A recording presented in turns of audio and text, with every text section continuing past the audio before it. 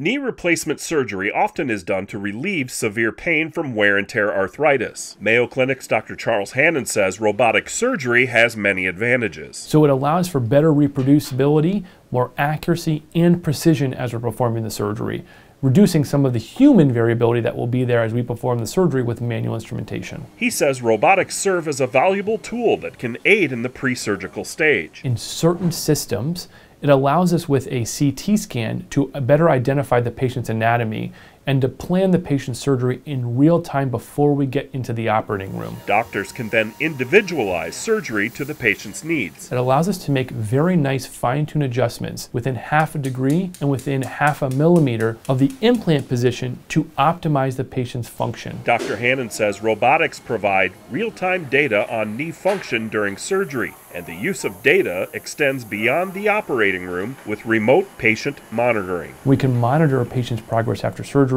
identify a patient who may be struggling, and then hopefully can change their recovery trajectory after surgery to better improve their outcome. For the Mayo Clinic News Network, I'm Jason Howland.